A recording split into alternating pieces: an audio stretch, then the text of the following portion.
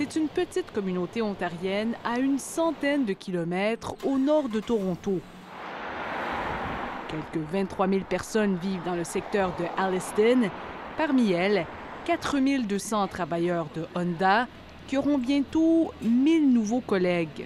I think it's excellent. Um, it's definitely beneficial for us. Honda s'est installée en Ontario il y a presque 40 ans.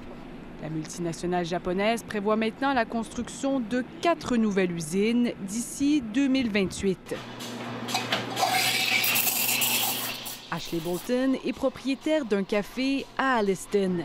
L'entrepreneur voit d'un bon œil l'expansion de Honda et espère obtenir sa part du gâteau avec l'augmentation du trafic piétonnier au centre-ville.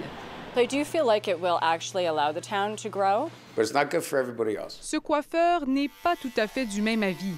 Il doute que les 1000 emplois créés vont revenir à des résidents de sa ville et critique les aides gouvernementales accordées à Honda. I mean, I would love a hand from the provincial government, but they're not going to give it to me.